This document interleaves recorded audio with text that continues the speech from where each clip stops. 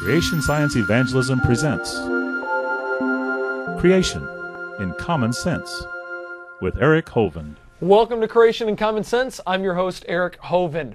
Hey, are us creationists just anti science people? A lot of evolutionists claim that.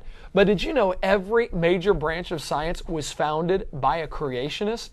Joining me to talk about this are two guys from our creation research team at Creation Science Evangelism, Jonathan Sampson and Joshua Joscelyn. All right, so Josh, are all real scientists evolutionists? Oh, of course not. Uh, we have Johann Kepler, for instance. Ever heard of him? Yes. Uh, this is the founder of modern astronomy. He discovered the laws of planetary motion. He helped develop calculus. Uh, he verified heliocentricity, which is the idea that the sun is the center of the solar system Not rather the than the Earth. right. Exactly. So this is a very prominent scientist. But he also said God is the kind creator who brought forth nature out of nothing. This is a very prominent scientist here who helped found astronomy. But he also believed that God was, uh, created the world about 7,000 years ago. Wow, so incredibly smart, real scientist, and a creationist. A creationist. creationist. Wow. Yeah, so we have him to thank for calculus. yeah. so anyway, there was another guy, Robert Boyle, who of course uh, kind of permeated the, the school classes there. Robert Boyle is the modern, the father of modern chemistry. When he was younger, he was able to go and meet Galileo, an elderly Galileo, who worked kind of in the same area of Johann Kepler. And Robert Boyle was actually the skeptic of his time, ironically enough, as a Christian. He wrote a book called The Skeptical Chemist, which he kind of refuted the idea that everything was just earth, wind, fire, and water. Uh, the four element idea that even Aristotle um, you know, popularized. Now, at 18, he started the Philosophical uh, School of London.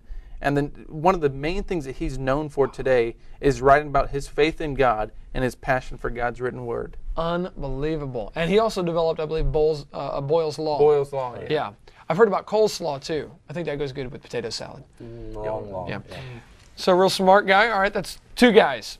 Yes. They were creationists and scientists. Yes, but they weren't just anomalies either. I mean, have you ever heard of Sir Isaac Newton? This is, Mm, yeah. I mean, he's considered by many to be the greatest scientist who ever lived. Um, but he also, let's see, some of the things that he's done. He discovered the law of gravity, uh, the color spectrum. He also helped develop calculus. Um, he invented the reflecting telescope. I mean, this, and the list goes on and on. This is Mr. Science here. But the interesting thing about him is he wrote very actively against atheism. Furthermore, he believed in a literal six day creation. So, Sir Isaac Newton, possibly the greatest scientist who ever lived, was a literal six day creationist. Just like us, Exactly. the not the greatest scientists that ever lived. Much smarter than us, though. Yes.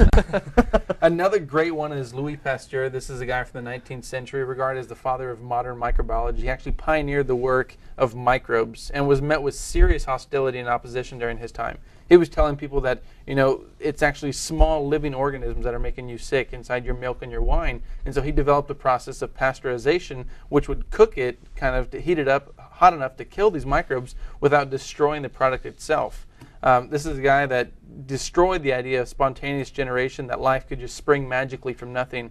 And another guy who undoubtedly and unequivocally was very thankful to his creator and his savior for, for giving him eternal life. Major scientists, all creationists. It's interesting. The uh, the evolution handbook actually goes through many different scientists that were creationists and how the foundation of science was laid by creationists wanting to study God's incredible creation. It goes on to talk about many prominent evolutionists of the day and their contributions to science. It says there isn't any. I mean, can you think of any uh, major contributions uh, from the evolution theory uh, from evolutionary scientists?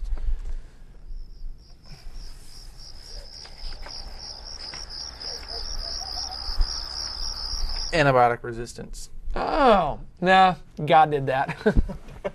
you know, the uh, the Bible is very pro science. Uh, it promotes scientific research. It says, Speak to the earth, and it shall teach thee. The fish of the sea shall declare unto thee.